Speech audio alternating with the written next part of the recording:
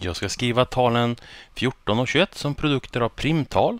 Och talet 14 det hittar jag ju i sjuans multiplikationstabell. För att 2 multiplicerat med 7 är lika med 14. Och 21 det är detsamma som 3 multiplicerat med 7. Så svar